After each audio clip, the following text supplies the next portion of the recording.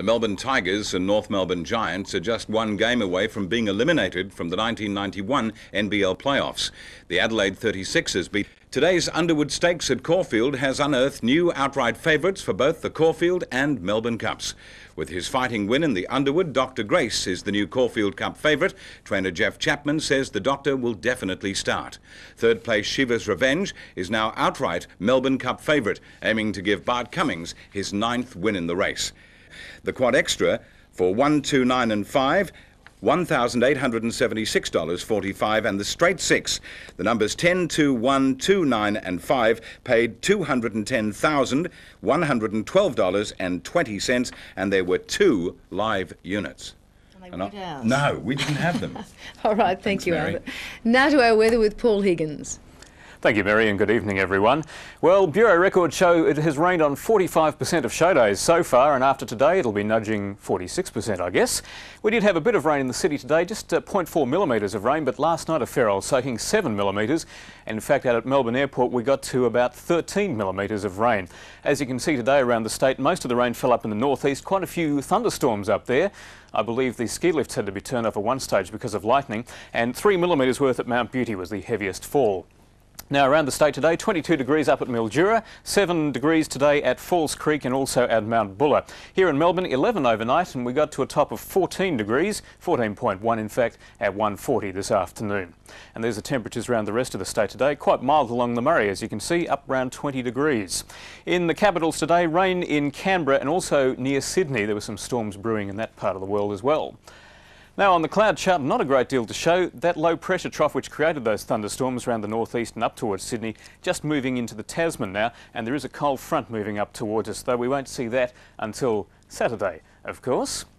As you can see there, there is in fact this ridge of high pressure moving towards us. So we're into a bit of a southeasterly airstream at the moment. That led to the showers in the south of the state. That cold front, though, will move through sometime early on Saturday morning. So we will see some showers during the day on Saturday, I'm afraid. Interstate tomorrow, showers clearing from Sydney, thundery in Brisbane, clearing in Canberra, and a change coming up for Adelaide, but a very nice 23 before that arrives. Now for southern New South Wales, some showers in the eastern part, uh, clearing tonight. It should be a mild and sunny day tomorrow. And there's the flood warnings. They're slowly decreasing. In fact, only minor flooding on the Goulburn, Murray and Latrobe in parts. Now for Victoria, showers and storms in the northeast clearing overnight. Early fog, then a cool to mild day right throughout. Bit of drizzle in the south overnight tonight too. And there's the temperatures up as high as 23 degrees at Mildura. On the bay, south-southeast leads to 15 knots, but becoming variable back to only 10 knots tomorrow. For Melbourne, early fog, then a fine day with light winds, 7 to 18 degrees. As I mentioned, some showers coming up Saturday. Sunday becoming fine, about 18 degrees. And then Monday, not looking too bad, about 20. Now, as far as the snow is concerned, still excellent skiing at all those places, though the snow is softening just a little bit towards the end of the season, and there's even some sightseeing snow up at Mount Donna Buang. Don't you wish you were there, Mary? Maybe. Okay, thank you, Paul. To finance now, offshore buying helped lift what was otherwise a flat day on Australian share markets. News Corporation was up 40 cents and Coles Martin. change what happens to patient care. the patients will have to be moved elsewhere. The report recommends developing Fairfield into a research centre for infectious diseases. Patients would be diverted to other hospitals, such as the Alfred, Austin, Royal Melbourne and Royal Children's. Last month, nearly 1,000 hospital and community workers rallied in an effort to save Fairfield Hospital.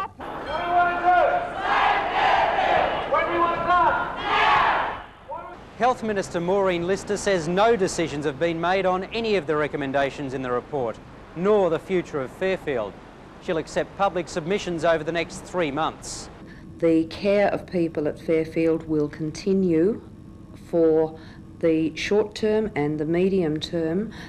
If the government does decide next January to close Fairfield Hospital, it may take two years to implement. Melbourne Victory over England. Final television. One not to miss. Another emphatic display, and world number one Stefan Edberg is through to the semi finals of the Australian Indoor Tennis Championships. He's into the semi-final. Turnbull Stakes Day at Flemington tomorrow, and Greg Miles says Durbridge will buy. And your selection was? Let's elope. It's a long shot. won't let me. All right, thanks, Arthur. Now, Paul Higgins has been looking into his crystal ball with the weekend's weather. And the tip is looking good, Mary. We'll just keep you in suspense for a little bit longer. Good evening, everyone. It uh, looks like those hazy days of summer that they always sing about have come a little early. Today it was a beautiful afternoon, but still very hazy. Visibility in the city down to around 5 to 8 kilometres, depending on which suburbs you're in. And we didn't quite get into the 20s as expected. 17.9 was our top. That came at 1.35 this afternoon. Not that we're complaining, it's beautiful weather, isn't it? 32 today at Oyen and only 13 degrees up at Mount Hotham, perhaps a little bit closer up to that direction. And as you can see, it was a bit cooler in the Alps, but otherwise up into the high 20s and uh, low 30s in the northern part of the state. Now around the nation today, only some rain in Perth. They had six millimetres worth, which is a reasonable amount over there. We can still see the remnants uh, of a low pressure trough. Also this cold front, which has been heading our way now for nearly a week it seems. In actual fact, there's two cold fronts coming up, but uh, before we get on to that, this high pressure ridge right across Bass Strait is what's keeping the weather so beautifully stable at the moment. This low up here is in fact weakening out, so we shouldn't expect too much instability from that in the northern states. But the cold front is moving towards us. That wind from the northwest will really strengthen during the day tomorrow. And we'll see a cool change sometime in the early hours of Sunday morning here in Melbourne with just a bit of rain. But there will be some rain tomorrow in Perth, some morning showers over there, some late showers down in Hobart too, a cloudy day for Sydney and late change coming up in Adelaide, but 28 before that arrives. So for southern New South Wales, isolated morning fogs, but then a warm and mostly sunny day coming up. And we still have that warning of minor flooding for the Murray downstream of Lake Hume. For Victoria, warm and sunny with that north wind uh, strengthening just a little bit as the day goes on. Coastal sea breezes, but there will be a change tomorrow night. Before that arrives, though, you can see we're getting up into the high 20s, low 30s once again in some parts.